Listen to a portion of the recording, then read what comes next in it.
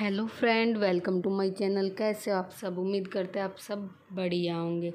तो स्टार्ट करते हैं आज का व्लॉग। तो आज का व्लॉग है रेसिपी व्लॉग। तो आज हम बनाएँगे पुलाव और पुलाव की ही रेसिपी दिखाएँगे। तो यहाँ पे हमने कुकर चढ़ा लिया है और कुकर में तेल डाल लिया है और ये खड़े मसाले निकाल लिए हैं। यहाँ पे है कसूरी मेथी, वैसी में, सूखी मेथी, इलायची, काली मिर्च, लौंग और साबुत धनिया और लाल मिर्ची, साबुत वाली। तो ये खड़े मसाले निकाल लिए और इधर कुकर में डाल लिया था तेल। तो तेल गर्म हो गया था, उसके बाद हमने सोयाबीन की बड़ी डाल ली थी जो पहले से भिगा के रखी हुई थी हमने। तो उन्हें हल्का हल्का कर लेते हैं फ्राई। तो यहाँ पे फ्राई कर रहे हैं सोयाबीन की बड़ी को। और चावल मैंने भिगा के रखे हुए थे तो उन्हें अच्छे से वॉश कर लेते हैं। तब तक बड़ी फ्राई हो रही है। तो यहाँ पे चावल तब तक धुल के रख लेते हैं। भिगा दिए थे थोड़ी देर पहले, पंद्रह से बीस मिनट पहले भिगा दिए थे मैंने। तो अब यहाँ से, यहाँ पे चावल अच्छे से साफ़ कर लिए हैं, धो के, और तब तक हमारी बड़ी भी फ्राई होगी होगी। तो उन्हें चेक कर लेते हैं। तो यहाँ पे देखो, हल्की हल्की सुनहरी ब्राउन होने लगी हैं बड़ी। तो यहाँ पे निकाल दी हैं। ज़्यादा डार्क ब्राउन नहीं करनी, हल्की हल्की ही फ्राई करनी है। यहाँ पे फिर हमने बड़ी निकाल दी। फिर इस उसके बाद इसी कुकर में ही हम छोंक देंगे। पहले बड़ी निकाल लेते हैं। और यहाँ पे बड़ी निकाल ली है और छोंक मैंने काट के तैयार करके रखा हुआ है। बस इसके बाद हम छोंक देंगे। तो यहाँ पे हमने खड़े में मसाले डालने स्टार्ट कर दिए। काली मिर्च, इलायची, मेथी सब डाल दिया जैसे कि करके, जो मैंने आपको दिखाए थे स्टार्टिंग में। तो ये सारे मसाले डाल दिए हैं खड़े वाले। और अब इन्हें थोड़ा सा चटकने देते हैं। फिर उसके बाद डाल दिया है जीरा। अब ये भुन जाएँगे। फिर उसके बाद डालेंगे प्याज और लहसुन, जो हमने कट करके रखे हुए हैं। इन्हें मंदा कर दिया गैस को और अच्छे से भून लेते हैं। हींग और डाल देते हैं। हींग ख़त्म हो गया। तो फिर नई डिब्बी निकाल के लेके आए, अंदर रखी हुई थी किचन में, पेटी में। तो हींग डाल दिया है और अब इसके बाद डाल देंगे लहसुन। मैंने प्याज वाली ही प्लेट में एक तरफ़ को काट के रखे हुए थे लहसुन, पहले लहसुन डाल दिए और फिर उसके बाद प्याज। जब लहसुन थोड़े से फ्राई हो जाते हैं ना, फिर उसके बाद प्याज डालो तो अच्छे से भुन जाते हैं। और फिर यहाँ पे डाल दिए है प्याज और हरी मिर्ची भी कट कर रखी थी मैंने, इसी में एक तरफ़ वो भी डाल दी हैं।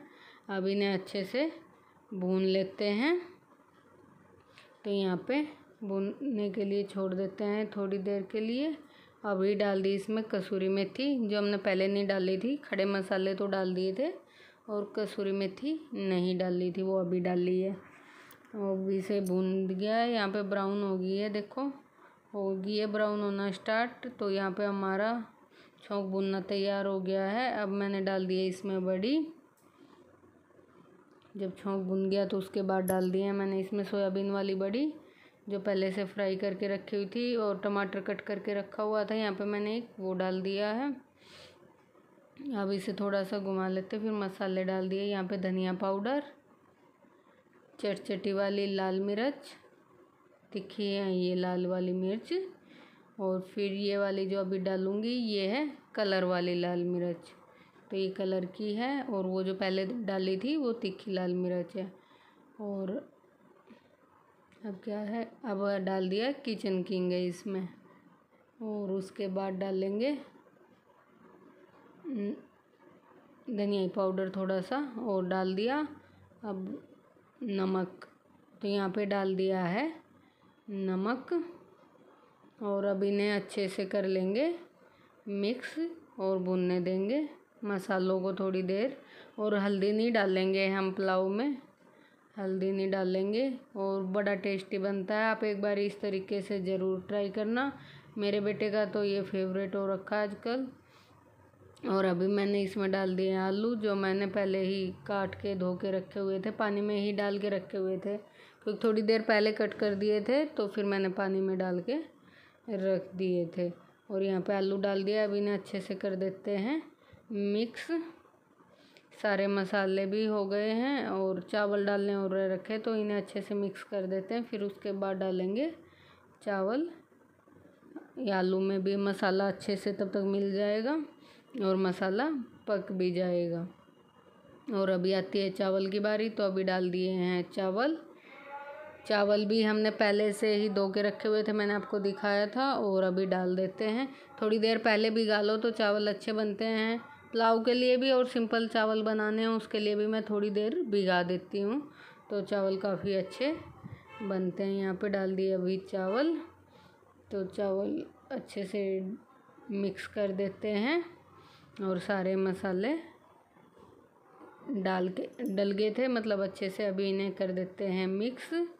और देखो यहाँ पे अच्छे से मिक्स हो गया और उसके बाद जितना पानी जैसे डालना है तो मैं तो कुकर में चावल से एक उंगल ऊपर रखती हूँ। जैसे चावल होते हैं ना तो इनसे इतना एक उंगली जितना ऊपर जैसे रख लेती हूँ तो सही आइडिया आता है। या ऐसे भी डाल लो एक कटोरी चावल हैं तो दो कटोरी पानी डाल लो जब भी बिल्कुल सही होता है। और यहाँ पे थोड़ी देर इसे उबलने के लिए छोड़ देते हैं। यहाँ पे एक सीटी लगने के बाद हमने गैस बंद कर दिया था। एक सीटी में ही हमारा पुलाव बन के हो गया था तैयार। पुलाव या नमकीन चावल जो भी बोलो आप तो कटोरे में दही निकाल रखा और सबकी प्लेट थाली में लेके आ चुकी हूँ और यहाँ पे कुकर खोल दिया है तो यहाँ पे हमारा पुलाव बन के हो गया है तैयार। तो चलो अभी खा लेते हैं। फिर उसके बाद बताएँगे आपको कैसा बना तो निकाल लेते हैं गरम गरम, नहीं तो फिर ठंडा हो जाएगा। और अभी सबका निकाल देती हूँ, मैं बर्तन भी ले आई हूँ और दही में भी नमक जीरा डाल लिया है और पुलाव बन और फिर मैंने वीडियो नहीं बनाया था। थोड़ी देर पानी में खद्दा लग गया था ना चावल के में, फिर मैंने ढक्कन लगा दिया था और एक सिट्टी आने तक छोड़ दिया था। एक सिट्टी में ही हमारा पुलाव बन के हो गया था तैयार। और खाते हुए की हमने वीडियो नहीं बनाई थी क्योंकि सभी लोग इकट्ठा बैठ के खा रहे थे। चाचा का लड़का भी था, उनकी वाइफ भी, चाचा की लड़की, ये सब लोग थे। शाम के टाइम का काम है तो वो बोले, हम भी खाएँगे। बना रहे थे, बोले, क्या बना रहे? बोले, पुलाव। बोले तो हम भी यहीं खाएँगे। तो इसलिए हम सारे लोग बैठ के खा रहे थे तो खाते हुए का वीडियो नहीं बनाया मैंने। एक बारी बना था तो उसमें कुकर दिखा दिया था, बने हुआ पुलाव तो बहुत टेस्टी बना था। सभी ने खाया था घी डाल के और दही के साथ, बहुत टेस्टी लगा था। आप भी इस तरीके से एक बार ज़रूर ट्राई करना। अगर आपको वीडियो अच्छा लगा तो लाइक करना प्लीज़, और कमेंट करके बताना आपको कैसा लगा। और आज का व्लॉग यहीं तक मिलेंगे एक अच्छे से व्लॉग के साथ? तब तक के लिए bye bye and take care मिलेंगे एक अच्छे से व्लॉग के साथ।